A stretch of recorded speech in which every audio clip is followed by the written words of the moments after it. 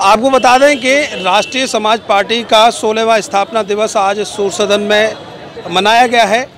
आगरा के सूर सदन में हज़ारों की तादाद में देश भर से जनता ने यहाँ कार्यक्रम में शिरकत की है। मेरे साथ में युवा नेता हैं जो राष्ट्रीय समाज पार्टी के कार्यक्रम में शामिल हुए हैं।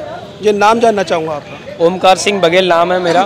ओमकार जी क्या कहना चाहेंगे कार्यक्रम के? लिए कार्यक्रम बहुत सक्सेस हुआ और आगरा में हुआ। आगरा एक मुमताज़ नगरी है, प्यार की नगरी है। उसमें हम सभी लोगों को, जहाँ से लोग आए हैं, सात राज्यों से, सबको बड़ा लाड़ प्यार मिला। और शोषित, वंचित, कहीं ना कहीं परिवार रहते हैं, कहीं ना कहीं लोग रहते हैं। उनको देश में मान सम्मान देने के लिए राष्ट्रीय समाज पार्टी तत्पर तैयार है। जैसे कि कैबिनेट मिनिस्टर महादेव जानकर जी ने कहा कि हम एक ऐसी पार्टी और एक ऐसा इतिहास रच रहे हैं, जिसमें शोषित और वंचितों को आगे लेके जाया जाए। तो बस उन्हीं चरणों पर चल रहे हैं सारे लोग। कार्यक्रम के लिए आगरा के कार्यक्रम के लिए क्या कहना चाहेंगे? कितने उत्साहित थे पहले से ही क्योंकि तैयारियाँ बहुत पहले से चल रही थी। कार्यक्रम की उत्साहित बहुत ज़्यादा थी। यहाँ के मंडल अध्यक्ष देवेंद्र धनगर जी हैं और संयोजक ताराचंद जी डॉक्टर ताराचंद जी। बहुत ज़्यादा उत्साह थी और यहाँ के लोगों में बहुत ज़्यादा उत्साह थी। एक मंत्री जिसने शादी नहीं की पच्चीस साल से घर नहीं गया ऐसे मंत्री के दर्शन पाने के लिए भक्त बनने के लिए काफ़ी सारे लोग उमड़े हैं सूर सदन के अंदर और बहुत ही भव्य और बड़ा कार्यक्रम हुआ है आपने देखा है आँखों के सामने।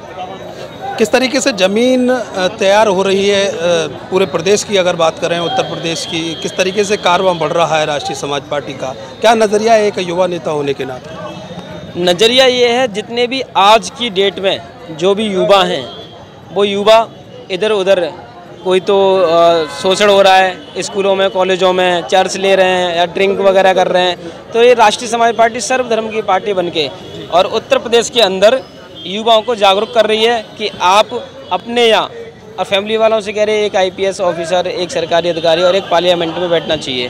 तो ये मैसेज आ रहा है युवाओं के लिए काफ़ी अच्छा। क्या नाम है आपका? मिस्टर एस एस पाल और Bhuri Singh. Mister S S Pal और भूरी सिंह। जी।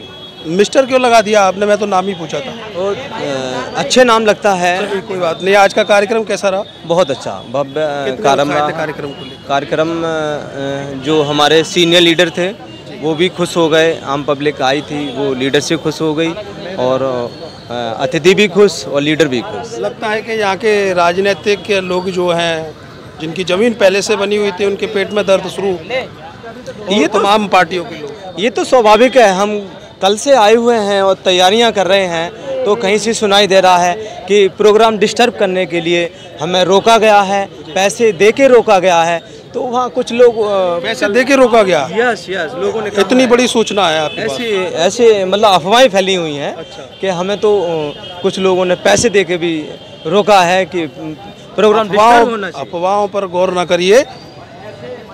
मेहनत जी रंग लाएगी। जी। हाँ तो कल स्टेटमेंट हो रही थी तो उनको भी हमने कार्यकर्ताओं का जुनून रहा जिसकी बदौलत ये पूरा सुर सदन आज आपने भर दिया है। कार्यकर्ताओं ने तो इतना जोश के साथ भरा है कि कल पूरी रात उन्होंने तीन बजे तक कार्यक्रम में अपनी उपस्थिति दिखाई है। रोड और गलियों में झंडे डंडों के साथ अपनी बाइक रैली भी करी थी कल।